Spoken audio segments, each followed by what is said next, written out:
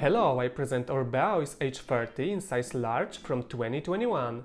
Oiz is available in two options, H with aluminium frame and this model is the cheapest one, and M with carbon frames. Apart from cranks, Orbea is equipped with full 12-speed Shimano Deore 6100 group set, Fox suspension which can be blocked by Squidlock lever and Maxxis Ikon tires. Most of the other parts are branded by Orbea sub-brand OC1.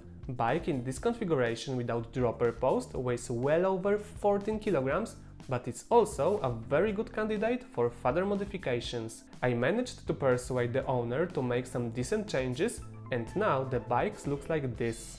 Drivetrain is probably the best mix of XT8100 derailleur, cassette and chain, as well as SLX cranks and shifter. I did not change the brakes because they work very well. Pro FRS handlebar made from 2014 aluminium alloy with a 40mm of rise is responsible for more comfortable riding position. Bike rolls on the lightest racing version of Vittoria Mezcal TLR with a width of 2.25. I also replaced Zoom seat post with a BikeYoke Revive 2.0 dropper post with 185mm of travel and I added specialized bridge comp saddle. Heavy wheels on Shimano 410 hubs with cartridge bearings gave way to light and stiff custom DT wheels with well-known and trusted 350 hubs upgraded to 36 tooth ratchet ring and XM41 welded rims.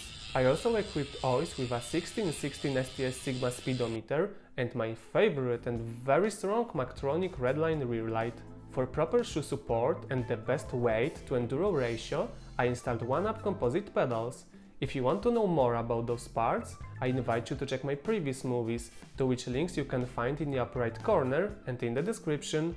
Oiz is a very good bike for XC racing and light trail riding. It has a great acceleration and 120-120 suspension at the same time guarantees quite a good off-road capabilities. After my changes, bike with the tubeless wheels weighs 12.9 kilograms and its specification is now better than H10TR version, from which after selling all parts, it's also cheaper. So if you like making changes and searching for sales in internet, I can honestly recommend buying H30 as a good base for big modifications. Thanks for watching, if you have any questions feel free to write in the comments and if you like the video drop a like and subscribe my channel where I publish new movies every Monday and Thursday. See ya!